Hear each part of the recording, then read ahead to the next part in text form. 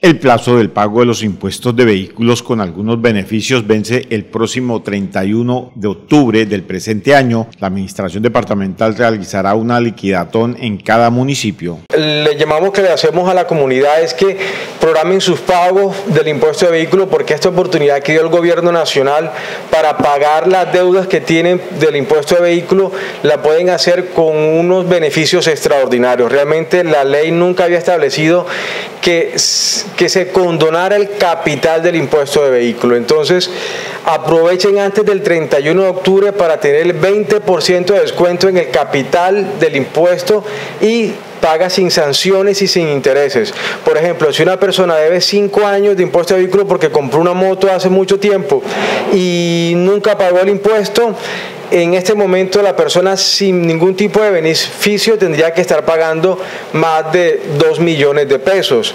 Pero si se acoge a los beneficios, se pone a paz y salvo, nada pagaría 170 mil pesos. Entonces es una oportunidad que antes del 31 de octubre se paguen y se pongan al día con el impuesto de vehículo. El jefe de la Oficina de Renta del Departamento de Arauca, Mauricio Lindo, dijo que la gobernación a través de una ordenanza logró incluir la vigencia actual. El Departamento de Arauca además también, pues en la tónica de ayudar pues a, a las personas en este tema de pandemia, también a través de una ordenanza estableció de que la vigencia actual también se incluyera porque la ley no incluía la vigencia 2020. Entonces, en este momento, hasta el 31 de octubre también, las personas que quieren pagar el 2020 lo podrán hacer sin sanciones y sin intereses. Entonces la invitación es que se programen y antes de esta fecha pueden hacerlo a través de la página de la gobernación www.arauca.gov.co. Hay un video instructivo y pueden pagarlo con tarjeta débito o crédito o pueden llamar el número que aparece en la página de la gobernación. El funcionario manifestó que la Secretaría de Hacienda Departamental realizará una liquidatón en cada municipio del departamento de Arauca. Nosotros previendo esto, vamos a hacer una liquidatón. La Secretaría de Hacienda Departamental se va a trasladar a los municipios de Arauca. Entonces, vamos a estar la última semana del mes de octubre en los municipios de Arauquita, Saravena y Tame.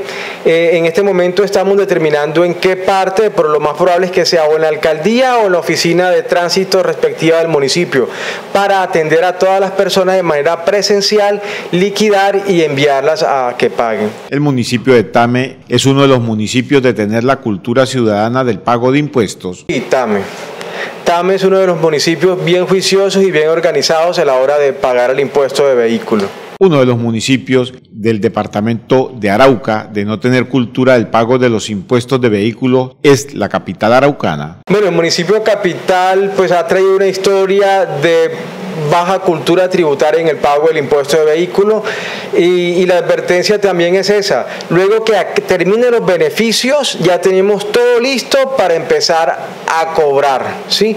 Las personas ya con el cobro eh, viene el pago completo y además de eso, el que no pague, entonces se le empezará a embargar las cuentas. Entonces, evítense tener problemas con la administración, de que se les embargue las cuentas, que estén dentro de un proceso de cobro coactivo. Entonces, aprovechen los beneficios del gobierno nacional y del gobierno departamental para pagar realmente sumas muy bajas eh, en, en la deuda que tienen. La próxima semana se dará a conocer los días de la liquidatón para el pago de impuestos de vehículos en esta región del país.